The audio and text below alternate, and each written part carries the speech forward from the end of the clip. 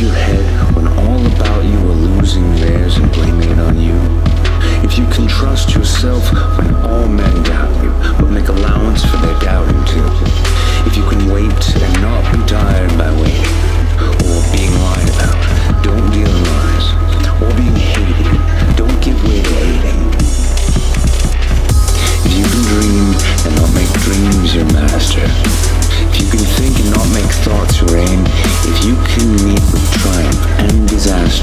and treat those two imposters just the same. If you can bear to hear the truth you've spoken, twisted by names, to make a trap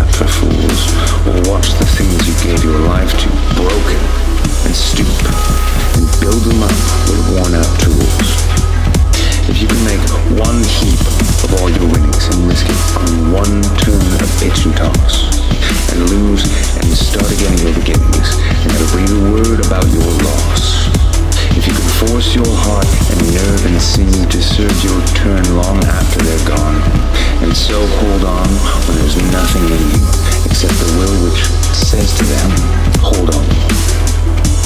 If you can walk with crowds and keep your virtue, or walk with kings, nor lose the common touch, if neither foes nor loving friends can hurt you, if all men count on you, but none too much, if you can fill the unforgiven minute with 60 seconds the earth and everything in it, and, which is more, the real man myself.